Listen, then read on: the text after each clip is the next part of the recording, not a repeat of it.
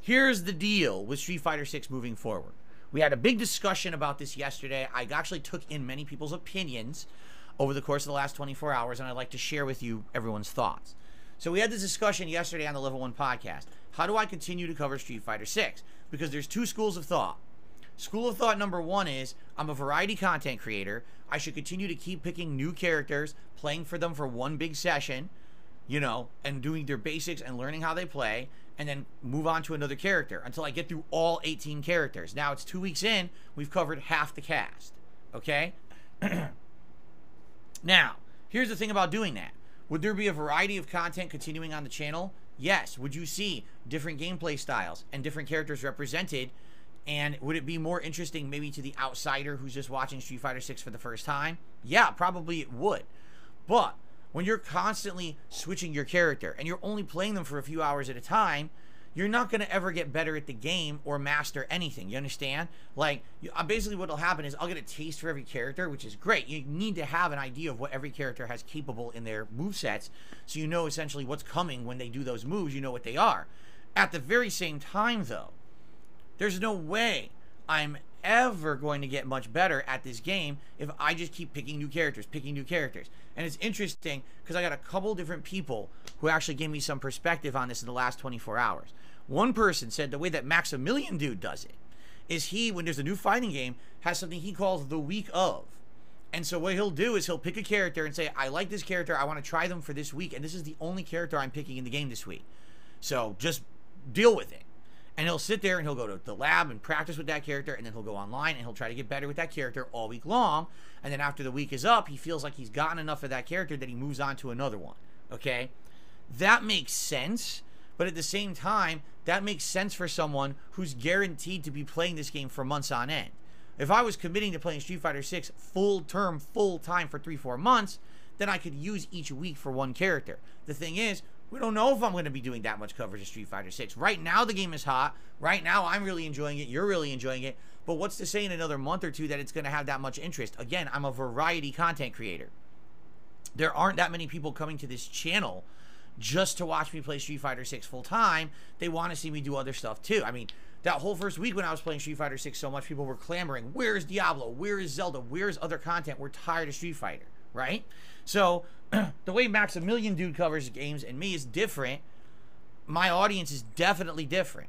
I feel like if I picked one character, like let's say I said this is going to be the week of Blanka, and all I did every day when I played Street Fighter 6 was play Blanka. two streams in, people would be complaining. Oh my god, he's still playing Blanka. I guarantee you they would.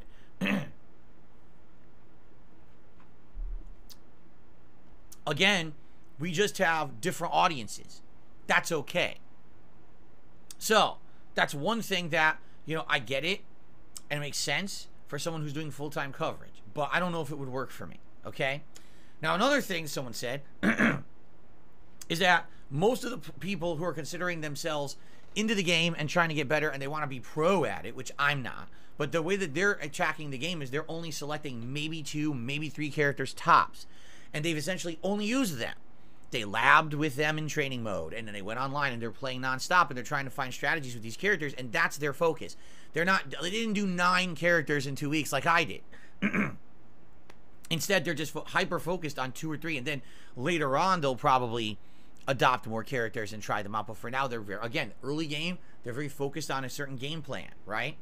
And you know that makes sense to me. Here's why: when I used to be a pro game player back in the day, pro Street Fighter player, I had two or three characters that I focused on. In Super Street Fighter 2 Turbo, it was Vega, Balrog, and DJ.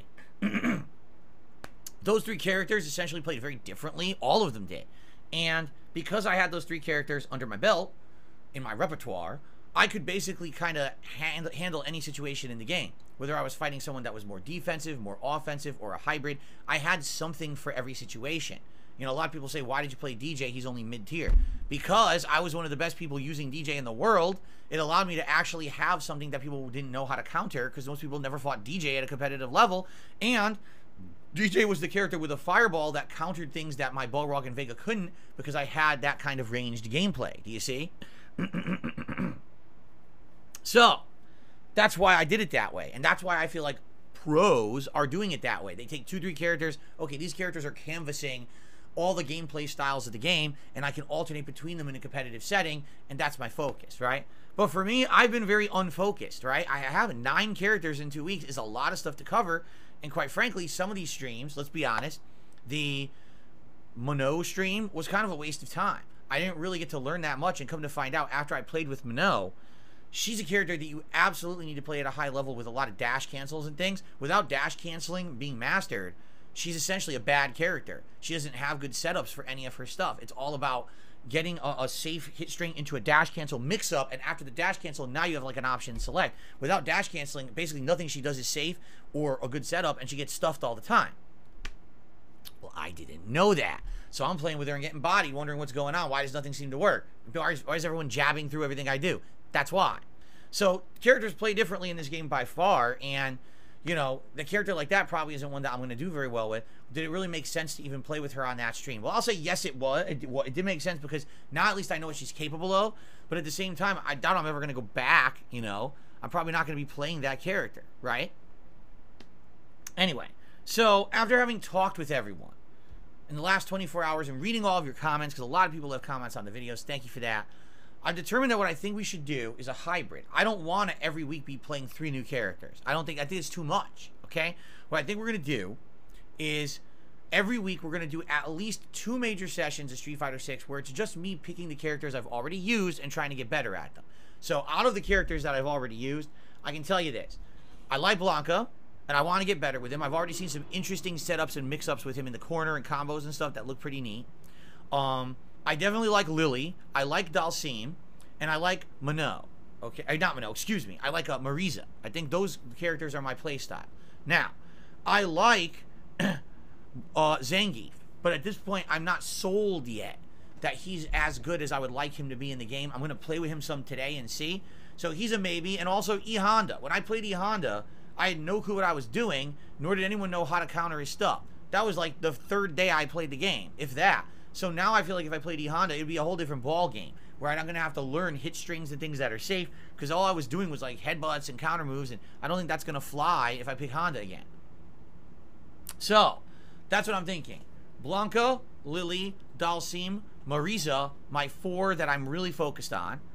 With a little bit of side note, I definitely want to play Zangief more and maybe Honda more. But I would say characters like JP, um, definitely not DJ, uh, you know, definitely not Mono. Those are characters that are going to be skips for me that I'm not too interested in. Okay? So, what I'm thinking is I want to focus today on a multiplayer session where I'm going to play with Zangief and Marisa exclusively. I'll probably start off with Zangief, play with him for like an hour, hour and a half, and then switch over to Marisa and see how I do with her. I'd like to rack up some wins with these characters if possible. Try to get my win-loss record a little bit better. Like I said, I actually watched a video or two of Zangief and saw some interesting things. Like his his standing headbutt, which is forward and fierce punch, is a really good counter hit move. And if you hit it, it can sometimes counter into itself or combo to itself again, and then you can two in one. Uh, and it's also a good setup for mix-ups. Like you can do that, uh, lid that into like a, uh, a spinning pile driver. Also, his low medium punch is great and leads to an easy combo into the EX lariat every time. So there's a few things I'd like to try with him today. And Marisa, obviously I was already doing good with Marisa yesterday. I'd like to continue on with that, try to get better with her today. So that's my goal today. It's Zangief and Marisa. But then I'm off tomorrow. When I come back on Friday, what I'd like to do is a stream where maybe I pick the other characters again. Maybe I try Blanka again, and I try Lily again, and then maybe I do another stream later in the week where I try another two characters that I've already played. But I don't want it to just be me playing characters I've already used. So if there's time, and likely there will be, I'll probably take one stream in the next week where I will try a new character as well. But it's going to dramatically slow down with the amount of new character use. Because how am I going to learn the game if I'm picking three plus new characters a week? I'm only playing with them once. I'm, I'm never going to learn anything advanced to the game or get any better. I'm just going to constantly be at that entry level, right?